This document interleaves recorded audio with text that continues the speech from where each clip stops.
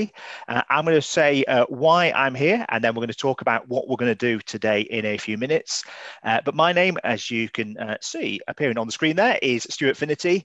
Uh, my background isn't as an academic. Uh, I'm a banker by trade. I spent more than 20 years in financial services, working for the likes of Santander, NatWest, and RBS. And before joining the university, I spent seven years leading business banking teams, so the teams that go out and look after banking customers in an area of of the UK called Cheshire. Um, I'm here because I lead the FinTech program, uh, but also you'll find out that I have an input into one of the units that we're going to discuss in a few minutes. But I'd like to hand over to Kat to say who she is. Hello, everyone. My name is Kat Werner, and I'm a program leader for MSc Accounting and Finance, MSc Finance, and MSc Finance and Business in the Department of Accounting, Finance and Banking. And I'm working together with Stuart on our postgraduate courses, delivering an excellent quality job and education. So I really hope that you will be able to benefit from this taster session and you will find out a little bit more about our courses. Thank you both. Hi everyone, my name is Prachi. I manage the India application systems and the India team. And towards the end, I'll be talking about how we can help you for applications onto these courses. Thank you. Over to you, Stuart. Wonderful, thank you. So let's get on and talk about what we are going to be doing today. Uh, so uh, the graphic on the screen there uh, is is showing uh, my brain has too many tabs open and that gives you an idea of maybe we're going to start to talk around a little bit of psychology so uh, what will today do? Well, we're going to give you an opportunity to meet both myself and Kat because we are both program leaders on different programs that you might be interested in. So we're in charge of the programs overall, but we're also unit leaders on a particular unit that's offered as an option across both. And that's the behavioral biases in financial decision making.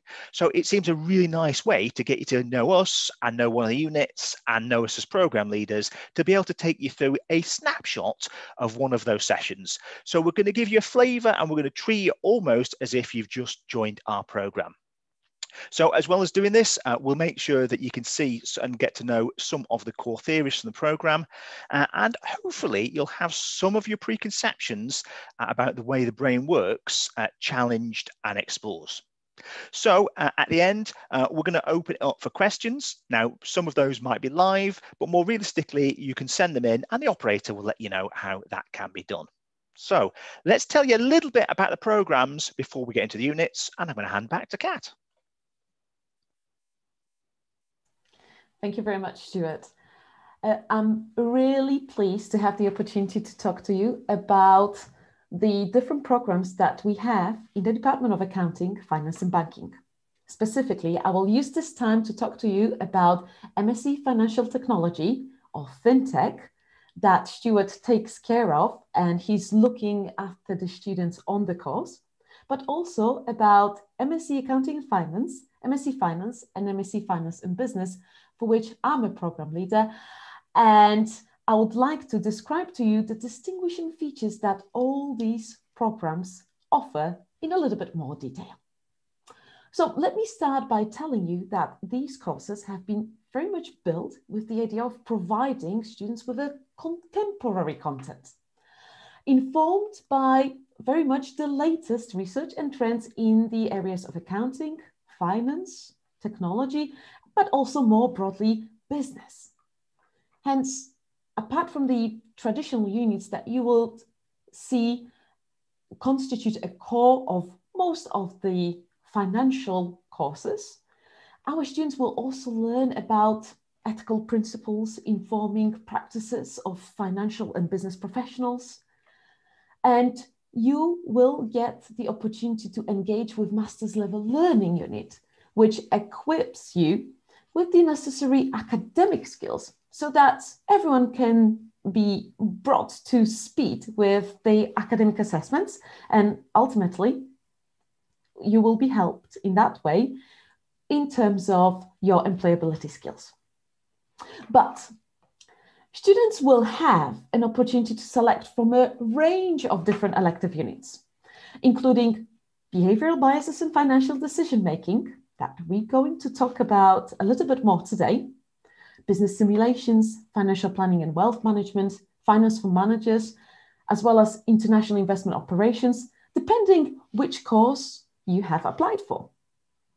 So, what we want to do today is to use really the chance to acknowledge that this constantly evolving structure uh, and course content of the programs that we are outlining to you very much reflect the changing needs of the external environment.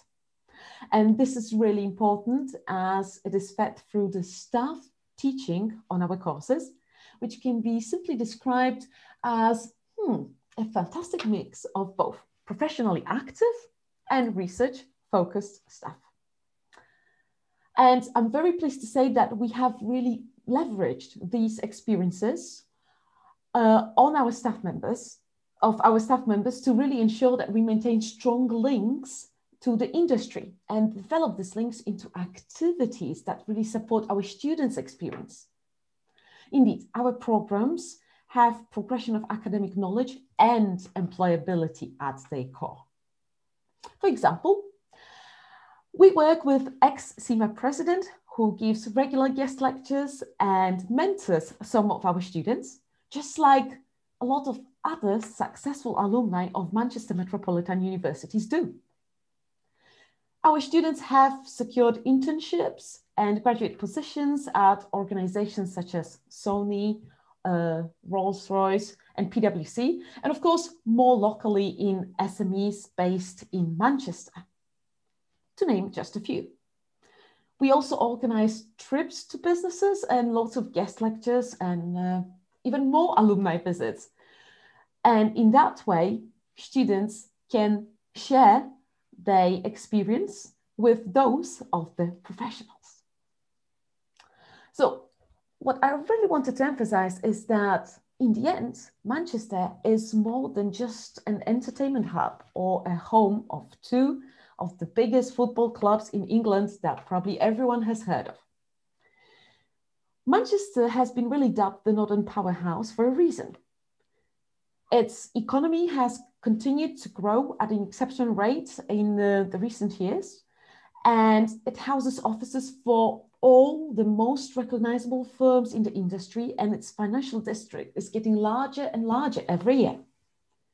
This is really great news for our graduates who can benefit from access to all the exciting dynamic graduate employment opportunities that this provides.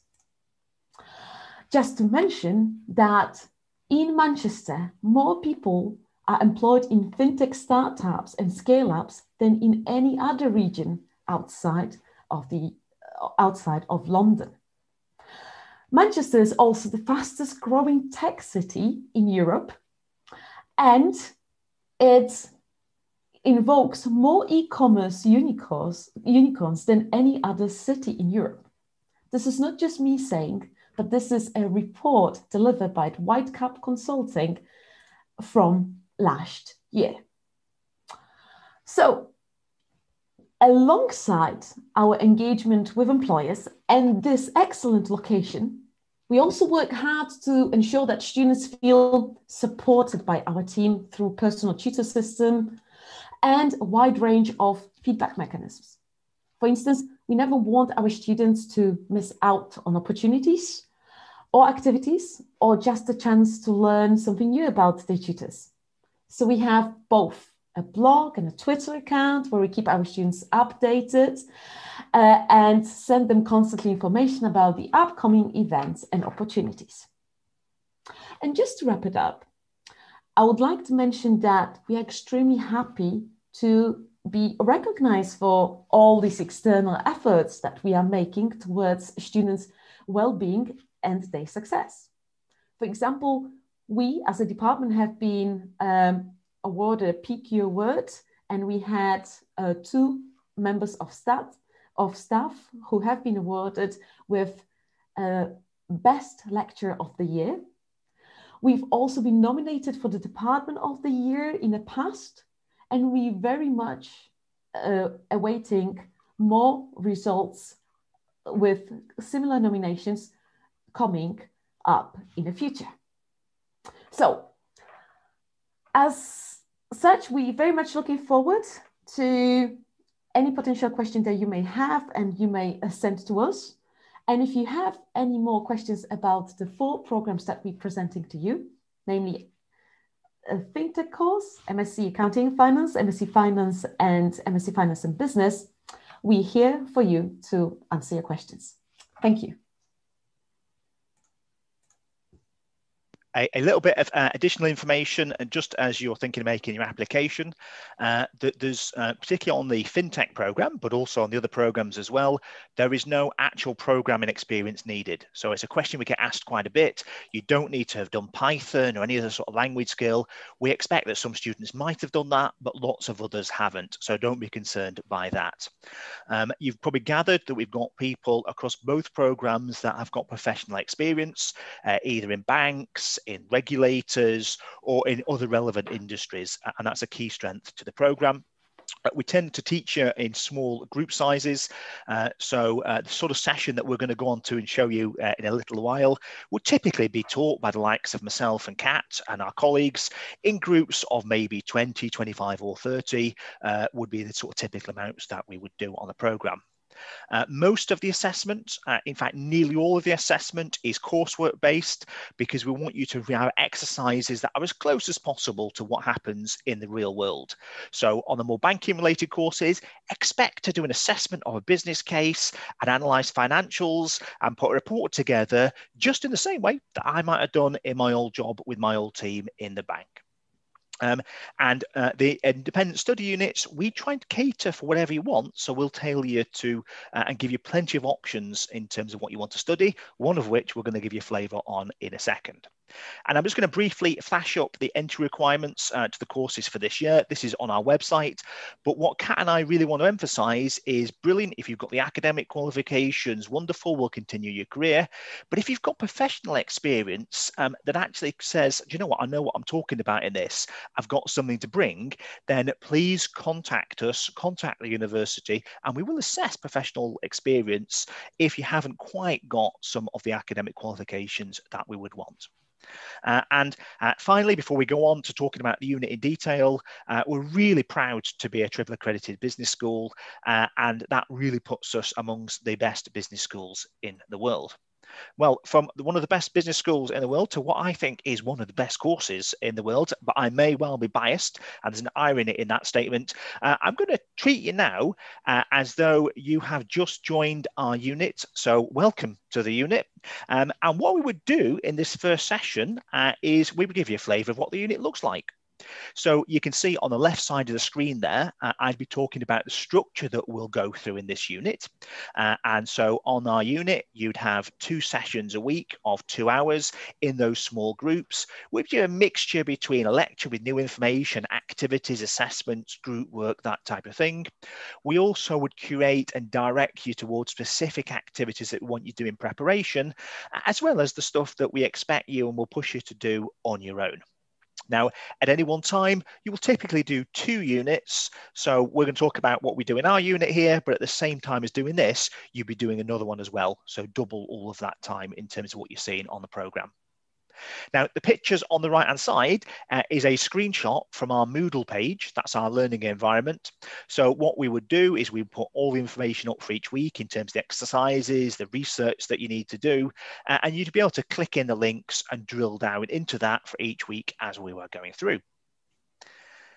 Now, the other thing we'd want to do at the start of a course is to say, okay, this is what we're doing today, and this is what we're going to go on to do.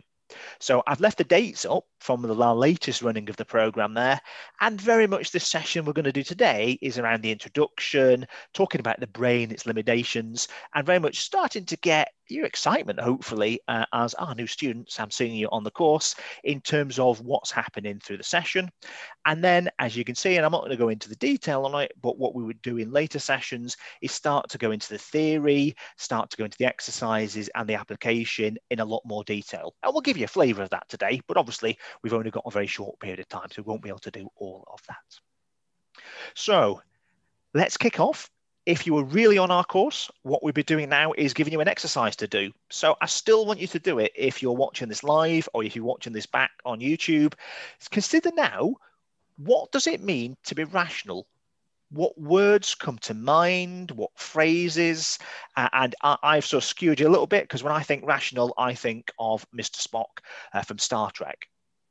Now, I want you to do something else now, uh, and I want you to consider how rational you are on a scale of 1 to 10, uh, 10 being Mr. Spock, totally rational, and 1 being completely not rational at all. And I want you to give yourself, and ideally write it down on a piece of paper, um, how rational you are. Now, I'm just going to give you a second to do that because I really want you to do the exercise. Now, in a classroom, I'd check up, but I'm going to trust now that you've done the exercise. Uh, and it'd be interesting to see what score you've got. Because if you scored a 10, I'd be challenging you pretty hard about really, are you always that way? But if you score a 10, you are probably in the space that economic theory expects you to be. And what does economic theory say? Well, let's Google uh, and cheat uh, and look at what the word rational means. So you've got phrases like based on or in accordance with logic or reason. Very Mr. Spock. Or rationality is the quality of being rational, uh, agreeable to reason, and it talks about conformity of one's beliefs. So if you are indeed a 10, you are somebody that always thinks, I am not eating that food again because uh, it's no good for me. And you never have relapses. You never just have the one biscuit. Uh, you never just have a few sweets. Or you're somebody that is able to say, in the morning, I'm going to go and exercise uh, and I'm definitely going to do it. And you wake up in the morning, bounce out of bed and do what you intended. Now, if you're doing that, fantastic. If you're not, don't be afraid. I, I, I, don't either. I quite often tend that I'm going to be really keen and get bounced out of bed, and I don't do it. It's too warm, it's too comfortable. We don't always do exactly what is our best interest, and that makes us human. But that also creates a problem. It creates a problem for the economic theory because a lot of the economic theory doesn't assume that. So we want to look at maybe how do we deviate from that and what are the changes. Now, one of the reasons for these changes is I'm going to talk, and obviously I deal in fintech, about a very, very clever bit of technology. There is the human brain. The human brain's amazing. The human brain can uh, enable us to make financial decisions. It can enable us to walk at a young age, to learn to drive, to go and get master's courses, to do lots of things. But it really wasn't evolved for that. Most of the evolution of the human brain is from hundreds of years ago, thousands of years ago, millions of years ago, when the situation was very, very different. So there isn't a bit of the brain that is designed for financial decision making. The brain just sort of has to cope and uh, make decisions and do the best it can. Now, a core part of this course is that you'll learn that it makes mistakes. Well, no surprise there. It wasn't evolved for that but it doesn't just mistake mistakes randomly it makes mistakes in predictable ways. And if it makes mistakes in predictable ways then that means that we can use that and hopefully compensate for that. But we're not alone in using that. Fraudsters tricksters people who will uh, encourage you to put money into financial scams etc would also seek to exploit that so let me give you a very simple example of what that might look like. and you've hopefully, or many of you will have seen this exercise before. Uh, eh, the idea is to look at the two lines on the screen and decide which one is the longest. Now, um, most of you will know that this is a bit of an optical illusion and both lines are the same length. Now, just to prove it, I've put a square on the screen. There you go. Uh, square's on the screen. And if you don't believe me, feel free to pause this afterwards and get a ruler out. Uh, but I assure you that both lines are exactly the same. Now, that's kind of not the point of this. The point of this, though, is you know that. I know that. I know the theory behind why I see it wrong. But I still look at this and I see it differently. My brain, even though it knows the right answer, still sees the top line as being shorter than the bottom. So I have a predictable error in my system that I can't correct just by knowing the right answer. Let me show you another example. Uh, and this is by uh, uh an author called Simons, who we'd introduce you to on the course. Uh, and the question I want you to ask is, which chess set is darker? Which is the black and which is the white looking at the screen there? Now, I see it as black is the bottom and white is the top, and most people do too. Um, but if I take away the background, there you go, you can see that both chess sets are exactly the same. And I'll just flick that back and forward slowly for you, just so you can see that I'm not tricking you. But again, the interesting thing is, I know that. I've discussed this with students. I've done this presentation numbers of time, but I still see the difference. So there's a problem in the brain, and we can illustrate that in multiple ways. Now, I'm going to take you back to a bit of theory that you may well have come across because it's quite an old one. Uh, it's a chap uh, called Ivan Pavlov, uh, and you've heard the phrase Pavlov's dogs. And what he did, he did an experiment where every time he fed the dogs, uh, he would ring a metronome, a bell, uh, and um, to get them used to that was a signal for food. And what did he learn later on? We learned that when he uh, rang the bell, even if he didn't produce food, the link between food and the bell was so close that every time they rang the bell, they started to salivate and they linked food to the bell as well. Well, we do that. We don't we do that when we learn things. You learn that if you run around uh, and you don't wear the right shoes, you fall over. That's the sort of thing our parents teach us, and it hurts. Um, you learn that some people are nice to you, and you get a nice feeling. You, you learn how to drive a car, and it's a good idea that if an emergency to put the brakes, you do instinctively. Um, you don't need to think. If the bus comes towards you, um, to actually what do you do? You dive out of the way. Some of this is instinctual, some of this is learnt, um, but this idea that things things get linked in our brains is part of our evolutionary and learning process um, and not just for dogs. So we're bringing you quite a few theories here together. So let's give you a real foundational bit of theory that I've put on the screen there. So I'm just going to give you a second to, to read it because it's really important to introduce this to you.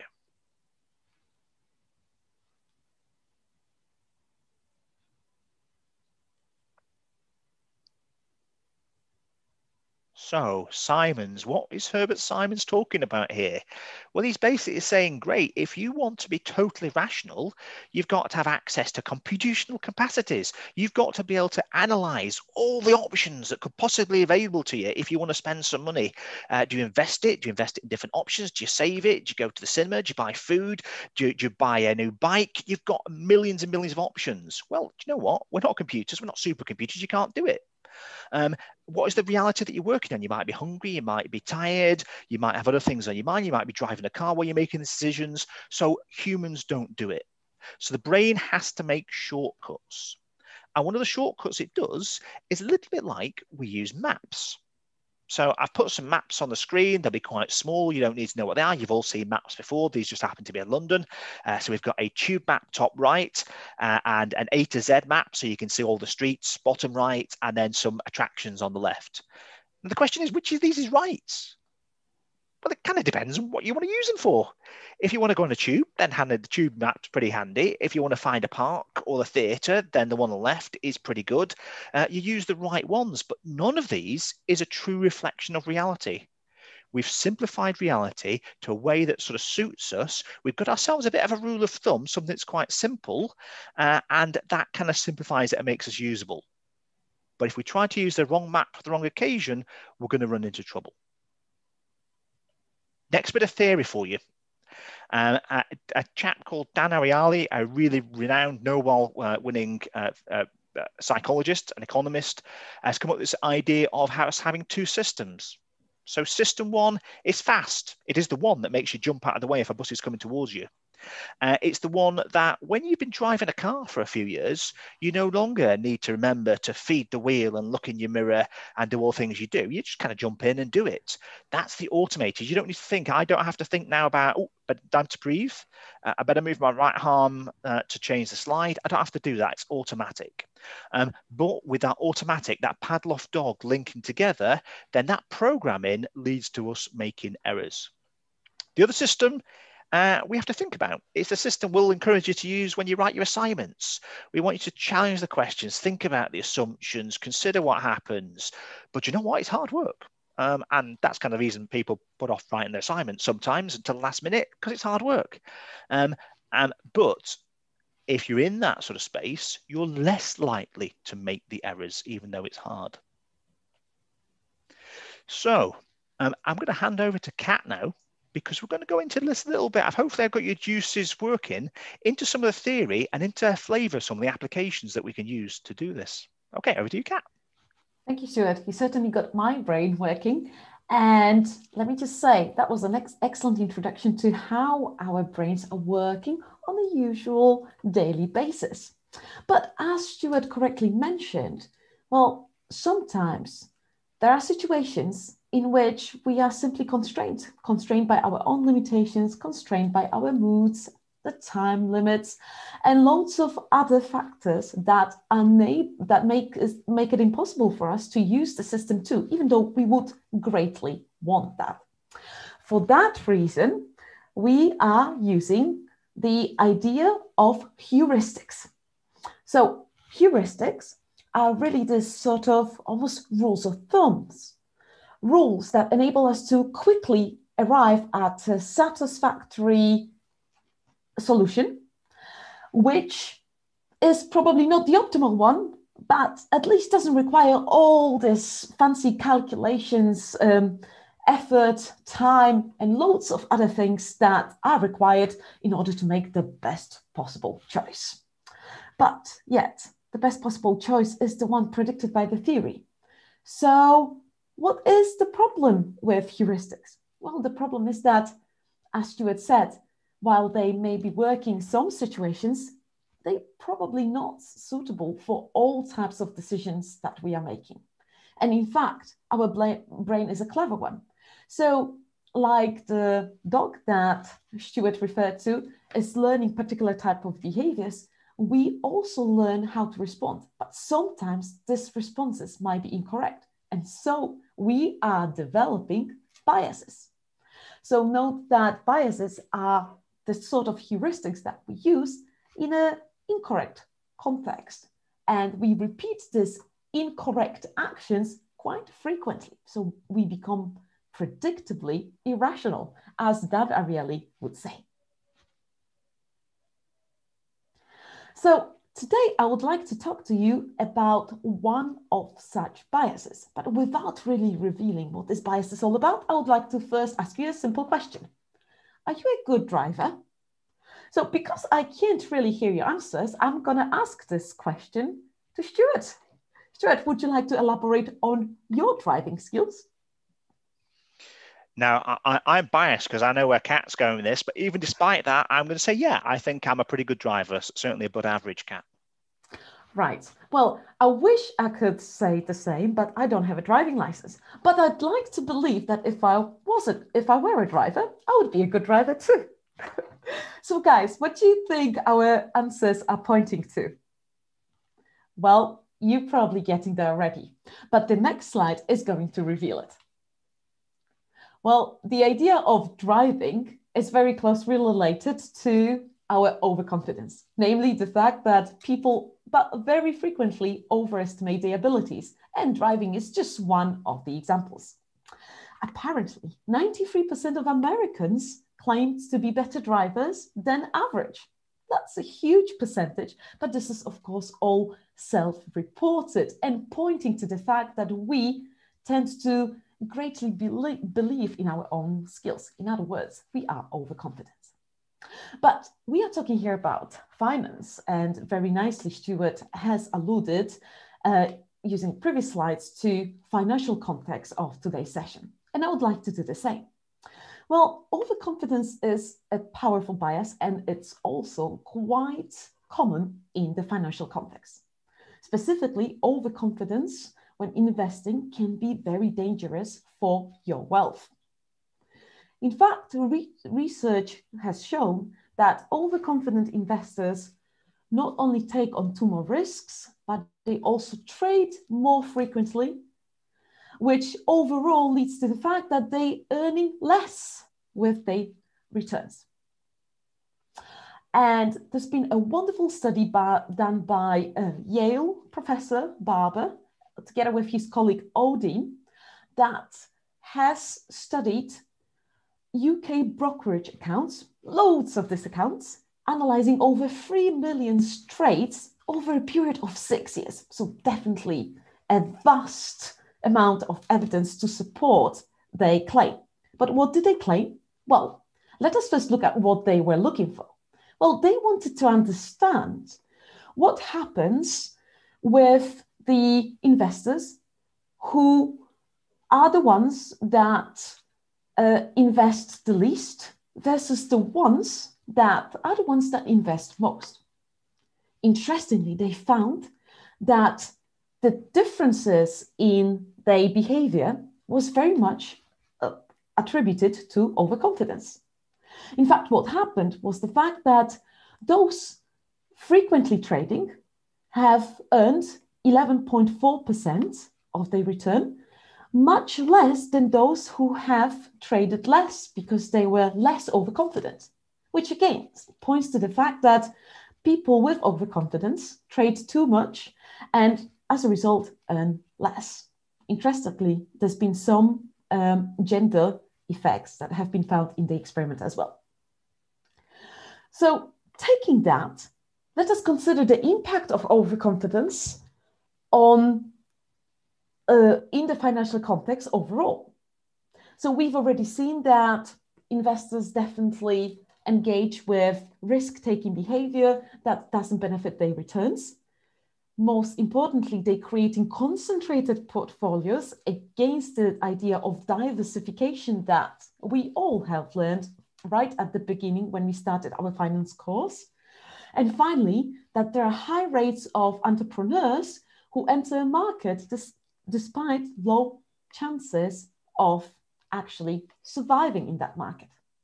So we see overconfidence has loads and loads of implications in the financial context. And in fact, it has been called as the major and the most prevalent and more potentially catastrophic uh, problem in decision making.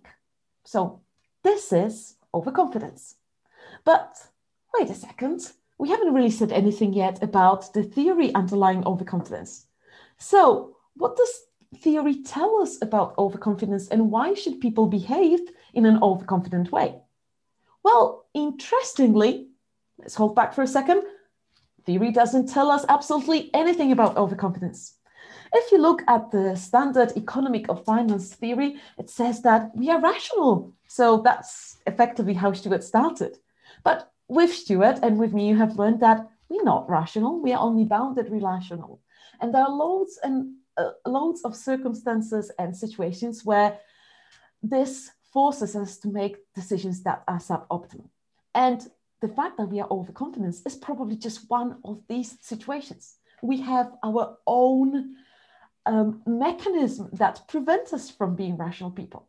And indeed, against the theory, uh, overconfidence uh, says that we have more than just our risk attitudes to behave how we are acting. And the idea of overconfidence can actually explain some of the real life observations that economic theory, finance theory cannot account for. One of such situations is the fact that while most of the people buy insurance, whether it's for their house, car, uh, their life insurance, health insurance, and also all sorts of other types of insurance products, people have been also found to buy lottery tickets at the same one, same, same time. That would suggest that, oh, people have different types of risk attitudes at the same time. And most importantly, many of these attitudes are actually being driven by optimism and overconfidence. So here we have overconfidence explaining how we actually behave with probably loads of other biases that could do the same just to add to economic theory and to clarify where we are versus what the theory predicts. So if you'd like to learn a little bit more about what theory really says about overconfidence and what are these other biases that are driving our behavior, well, you should certainly join our behavioral biases and financial decision making unit that will be full of excellent examples of how we really behave versus what is being predicted regarding our behavior, which can probably bridge this gap that has existed in research and in real life for the last several, several decades. So that's it from me. Uh, Stuart, if you'd like to take over and one more time emphasize why this unit is an exciting one. Yeah, absolutely. Uh, so to summarize, and, and again to remind you, this is one of the units from all the courses. Uh, it's one of the options. Uh, so uh, this we talk, we've opened in on this unit itself. Uh, so, you know, what would you study in the unit? Well, you'd be looking at developments in finance um, and building into that insights from psychology, including overconfidence and lots of other biases and heuristics.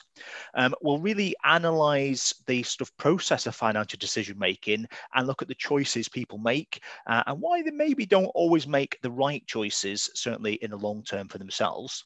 Um, and then using those behavioral insights, we'll be able to actually have a look uh, and analyze how have people tried to address this in the past. And by people, I mean governments, organizations, regulators, uh, and also fintechs and small businesses as well. Uh, and get you to a stage where you've got an insight into how you could apply this uh, in the real world uh, when you go into the job market, or indeed if you go into research as well. So the sorts of things that you look at is, you know, how do you discourage people from smoking or eating unhealthy foods? Actually, you could apply that to financial services. How do you discourage people from overspending and falling into debt or gambling? Uh, how do we actually engage people to, and encourage people to engage in organ donation after they die? Uh, and can we link this to making people more efficient at work? And you'll notice we've crossed between financial issues and non financial issues because there's no financial decision making part of the brain. The errors and biases from one area quickly lead into another. So we're trying to give you a flavour there. What have we done in this session with you today? Uh, we've had a look uh, and hopefully you've met uh, myself and Kat and at least got to know us a little bit. Uh, we've introduced you to the programmes. Uh, Kat did that in quite a bit of detail at the beginning. Um, we've given you an overview of the behavioural biases and financial decision making unit. Um, we've given you a flavour of the sort of ideas that the unit would explore. Um, hopefully, you've had a little bit of fun and uh, had some of your preconceptions challenged. Uh, now, the rest is kind of up to you. So there's an opportunity for you to send in via the operator questions. Um, my and Kat's contact details were at the beginning and we'll share that quite widely. If you're interested in any of the courses, we'd be really keen for you to get in touch and answer any questions that you have. So thank you very much for your time today. Hopefully that's been useful uh, and I'll hand back to the operator. Thank you.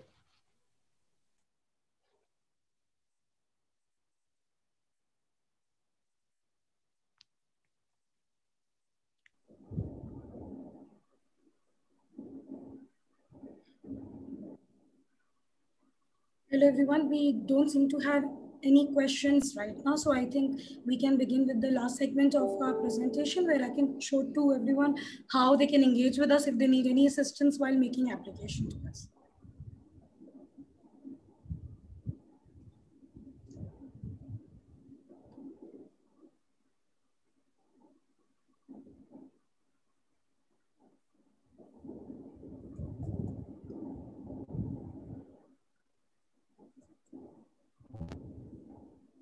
So hello, everyone. Thank you for staying with us and for all the interesting questions we can already see in the personal chats that you are sending to us.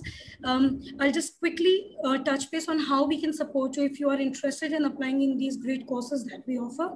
Just a quick overview of our university and some key facts that you can look up for. So my name is Prachi. I manage the India team and we are here based on the ground here in Delhi so that we can help you if you are struggling with any queries about how to make application to Manchester Met, how to proceed further with the documents, what other documents that you may need, and how we can actually connect you with our faculty members or with our current students who are already studying in case you are seeking for some feedbacks or interactions before you make any final decisions.